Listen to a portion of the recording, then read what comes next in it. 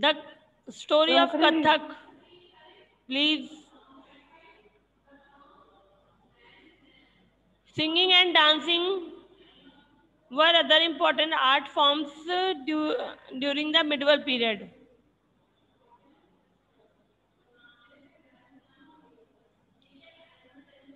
Medieval period में singing और dancing भी एक अलग जैसे पेंटिंग थी कला, वैसे ये भी एक कला का एक फॉर्म था, जो उस वक्त डेवलप था। Kathak Kathak is one of the popular dance form of India Kathak जो था, उस वक्त का सबसे पॉपुलर डांस फॉर्म था इंडिया का। It grew and spread greatly in the medieval period और सबसे ज़्यादा ये प्रभाव में मिडवल पीरियड में आया था और पूरे भारत में इसका विस्तार था। The term Kathak comes from the Sanskrit word katha और कथक वर्ड जो है, उसका जो कथा वर्ड से उसका इजात हुआ, जो संस्कृत का वर्ड है, कथा मतलब कहानी। द कथाकार और story tellers wait minute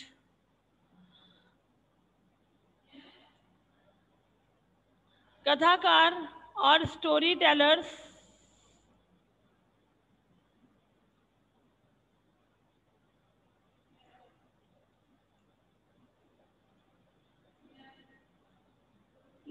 were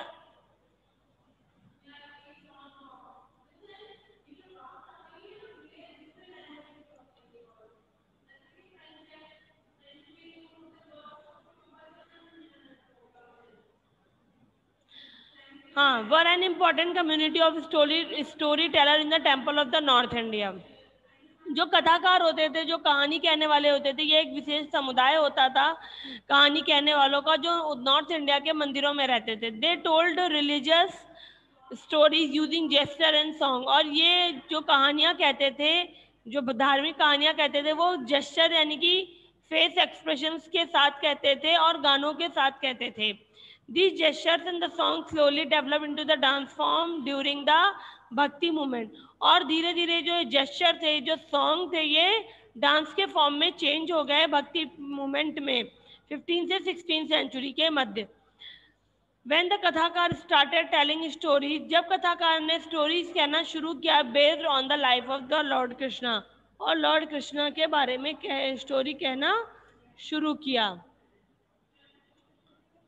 When the Mughals come to the power they supported Kathak जब मुगल्स पावर में आए तो उन्होंने कथक को सपोर्ट किया and it was perform regularly in the Mughal court और ये मुगल दरबार में रेगुलरली परफॉर्म किया जाता था। Regularly in the Mughal courts over time Kathak costumes and the actions took on many Persian feature फिर धीरे धीरे समय के साथ कथक की जो ड्रेस थी और जो उसमें एक्शंस थे, यानी जो उसके भाव थे, जो उसमें हाथ और फेस जेस्टर जिनको कहा गया वो जो एक्शन थे उनको took on many Persian features उनमें धीरे धीरे पर्शियन फीचर्स आने लगे। पर्शियन फीचर्स यानी कि अरेबिक उनमें ड्रेसेस में थोड़ा बहुत अरेबिक कल्चर जो था, वो आने लगा। और जो एक्शन थे, उसमें भी कुछ कुछ अरेबिक कल्चर आने लगा। After the decline of the Mughal empire जब मुगल एम्पायर का एंड होता है the the Mughals rules of एक second decline of the Mughal empire the Mughals rulers of Rajasthan जो मुगल रूलर थे राजस्थान के and the nawab of the Awadh supported Kathak और जो नवाब थे अवध के, उन्होंने कथक को सपोर्ट किया and develop into two style of gharanas और उन्होंने यहाँ से कथक को घरानाज में डेवलप कर दिया. यानी घराना कहा गया जहाँ पर सिखाया जाता था स्कूल उसको यानी आगे बढ़ाने के लिए कि वो ट्रेंड में बना रहे तो जो लखनऊ के थे और जो उसके राजस्थान के राज, मुगल थे, उन्होंने इसको सिखाया जाए तो इन्होंने इसकी स्टाइल को घराना में कन्वर्ट कर दिया।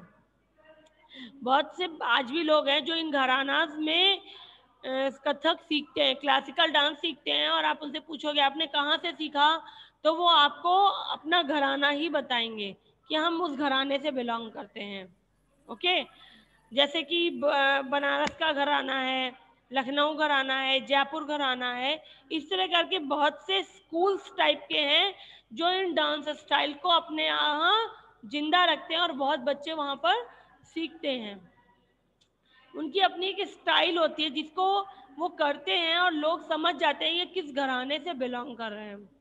The important features of Kathak are its quick footwork Kathak के इंपॉर्टेंट फीचर्स हैं उसका क्विक फुटवर्क पैरों का चलना, जल्दी जल्दी पैरों के जो मूवमेंट होती, वो ग्रेसफुल जेस्चर बहुत ही अट्रैक्टिव जेस्चर होते कि उन्होंने आँखों से जो कुछ उन्होंने एक्सप्रेशन दिया, जो उन्होंने आँखों से आपको बताया, वो आपको पता चल जाएगा कि ये क्या भाव कह रहे हैं। मल्टीपल स्पिन्स मल्टीपल स्पिन्स मतलब कि कई तरह से बॉडी को मोड़ना। ओके? स्पिन करना घूमना। एक साथ वो कई चक्कर लगा सकते हैं। हम एक चक्कर लगाने में गिर जाते हैं। वो एक राउंड में अगर स्पिन करते हैं तो 12 से 13 राउंड कर लेते हैं। बिना उसके कि वो गिरे या चक्कर आता है तो वो उनकी स्टाइल होती है। And the beautiful design costume और बहुत सुंदर उससे उनके जो कपड़े होते हैं, वो डिज़ाइन होते हैं। By the late nineteen century Kathak had become an important part of many northern state like Punjab Jammu and Kashmir nineteen century में, आखिरी में nineteen century late nineteen century में Kathak had become an important part of many northern state Kathak जो था northern state के बहुत से भाग, प्रदेशों में महत्वपूर्ण हो गया था, जैसे पंजाब जम्मू कश्मीर मध्य प्रदेश और बिहार में। Kathak survives even today due to the effort of the court dancers who kept this art alive. Kathak आज भी ज़िंदा है due to the effort of the court दरबारों के प्रयास की वजह से आज भी वो ज़िंदा है, जो दरबारी डांसर से उनकी वजह से आज भी वो ज़िंदा who kept this art alive जिन्होंने इस आर्ट को ज़िंदा रखा हुआ यानी वो सीखते हैं, कहीं ना कहीं परफॉर्म करते हैं तो आप आज भी जानते हैं कि कथक आज भी ज़िंदा है। It is an important part of Indian culture ये भारतीय संस्कृति का एक महत्वपूर्ण हिस्सा है।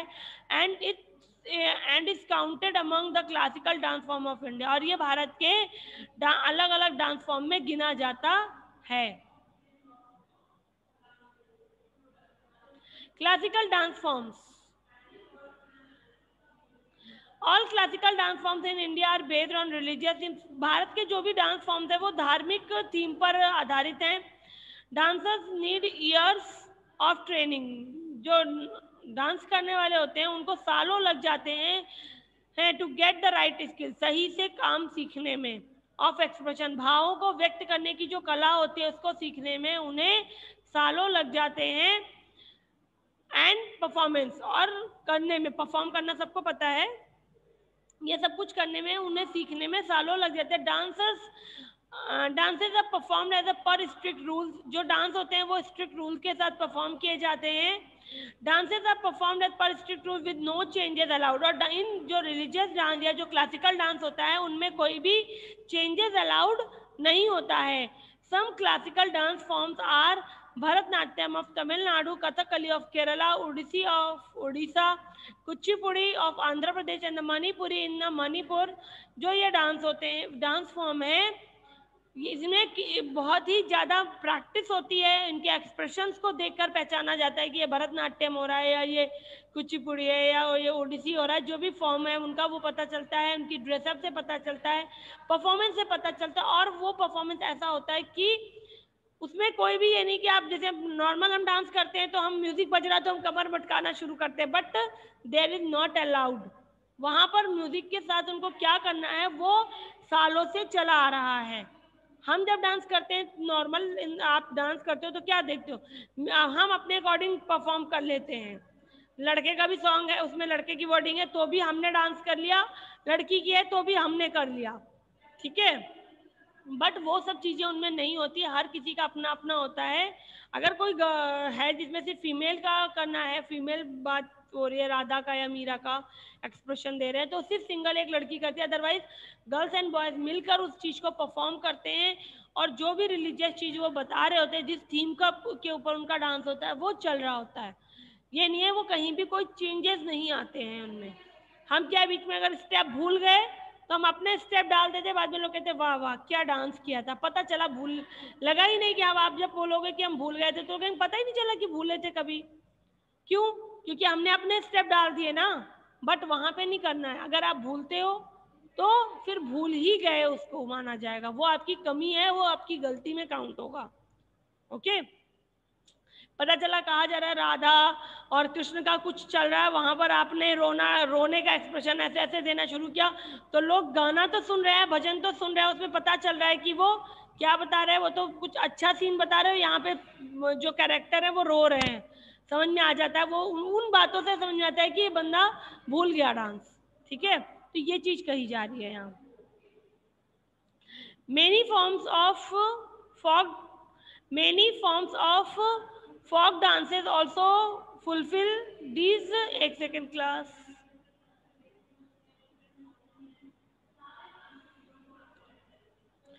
many form of dance folk form of folk dances बहुत से देशी फॉक माने होता है ग्रामीण। जो ग्रामीण डांस होते हैं ऑल्सो फुलफिल दीज क्राइटेरिया और जो ये क्राइटेरिया है, जो इनमें वो क्राइटेरिया कुछ फॉक डांस भी हैं जो फिल करते हैं but they are not considered classical dance पर उनको क्लासिकल डांस में नहीं कंसीडर्ड किया जाता है। This is probably because do not require as much strict training उनमें बहुत ज़्यादा इनका क्या है? इनमें स्ट्रिक्ट ट्रेनिंग होती है परफॉर्मेंस बेस्ड होते हैं। बहुत सारे जो ये रूल्स बताए गए, वो सारी चीज़ें डांस में, इसमें फॉक डांस में नहीं होती हैं। This is probably because they do not require must strict training इनमें स्ट्रिक्ट ट्रेनिंग की कोई ज़रूरत नहीं होती है। ऑल फॉर्म्स ऑफ़ क्लासिकल जितने भी क्लासिकल के फॉर्म होते हैं folk and tribal dances are important parts of Indian culture and must be preserve जैसे क्लासिकल डांस फॉर्म्स भारत के लिए ज़रूरी है, वैसे ही जो ट्राइबल डांसेज या फोक डांसेज हैं, वो भी भारत की संस्कृति के लिए सुरक्षित करके रखे गए हैं। Music dance without music is incomplete dance के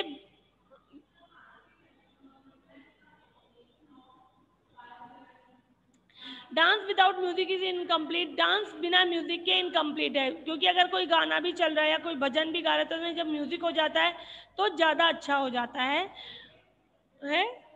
एक second during the medieval period medieval period में the Delhi sultans and the Mughal introduced many new forms of music and the instrument as well. मध्यकाल में जो दिल्ली सुल्तान थे और मुगल थे, उन्होंने कई तरह के म्यूज़िक फॉर्म्स लॉन्च किए और कुछ नए इंस्ट्रूमेंट्स का भी इजाद हुआ we know Hindustani classical music as we know Bharat का जो हिंदुस्तानी क्लासिकल म्यूज़िक है, वो हम जानते हैं कि we know it today started in North India कि वो उत्तर भारत से शुरू हुआ है through the combination of Persian Arabian and the Indian music जिसमें इन तीनों लैंग्वेजेस का मिश्रण है। New musical instruments like the sitar and the tabla were used in Kathak performance tabla और सितार का जो यूज़ होता है, वो कथक डांसेस में होता था। Other musical instrument introduced in the medieval period were the rabab and the sarangi इसके अलावा रबाब और सारंगी भी मिडवल पीरियड में इंट्रोड्यूस्ड हुई। New ragas were written and the song नए राग आए और लिखे गए specially by the famous musician कुछ प्रसिद्ध संगीतकारों के द्वारा कुछ नए राग और संगीतों को कंपोज किया गया। Mian Tansen to entertain to entertain emperor Akbar at his darbar Mian Tansen जो थे, वो अकबर के दरबारी कवि थे और वो अकबर के वहाँ, दरबार में मनोरंजन करवाते थे। भक्ति and the Sufi sant in the fifteen to sixteen century started the culture of singing qawwalis और भक्ति मूवमेंट भक्ति जो संत थे, यानी भक्ति मूवमेंट के जो संत थे, जो कृष्ण को मानते थे, उन्होंने और जो सूफी संत थे, जो सत्ता पर, शक्ति की सत्ता पर विश्वास करते थे, वो सूफी संत जो होते थे, जिनको मुस्लिम भी कहा जा सकता है, वो ना मुस्लिम होते थे, ना वो हिंदू, बस वो धर्म की हाँ भगवान होता है और धार्मिक बातों का प्रचार प्रसार करते थे, वो उन्होंने कव्वाली का फॉर्म स्टार्ट किया था, भजन स्टार्ट हुए थे और गुरुवाणी स्टार्ट हुई थी उनके द्वारा। पीपल स्टार्टेड सिंगिंग गजल्स, लोगों ने गजल्स गाना शुरू किया। टू अराउंड दिस टाइम, उस समय गज़ल भी स्टार्ट हो चुकी थी। This special song were perform in the court of Mughals and the regional ruler और ये जो स्पेशल फॉर्म्स थे, अभी आपने म्यूज़िक के पढ़े, ये दरबार में मुगल दरबार में या प्रादेशिक जो राजा होते थे, जो रीजनल कोर्ट्स होते थे, उनके यहाँ परफॉर्म किए जाते थे।